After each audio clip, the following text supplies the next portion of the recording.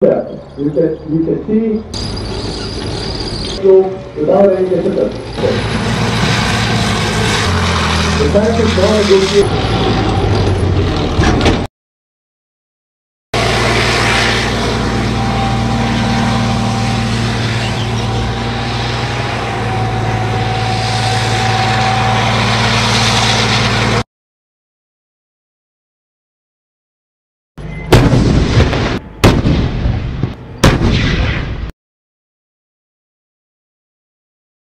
It's fighting two SE rounds.